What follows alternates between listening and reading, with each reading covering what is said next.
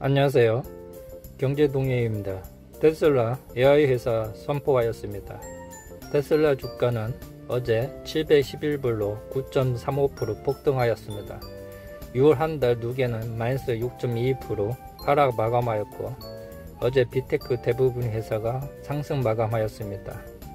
다우 산업과 나스닥 종합도 폭등하였고 이번 주 파월의 입에 주가 상승과 하락이 결정될 것 같습니다.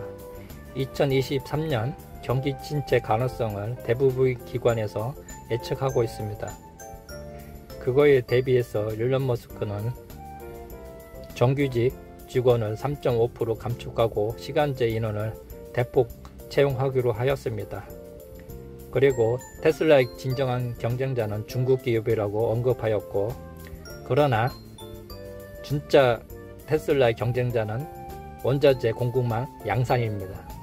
9월 30일 날 AI데이가 언급하였고 AI데이 때 사람처럼 움직이는 작업을 할 수 있는 프로토타입을 선보일 수 있다고 이야기하였습니다.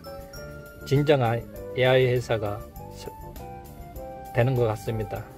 오늘 하루도 즐겁게 보내세요. 감사합니다.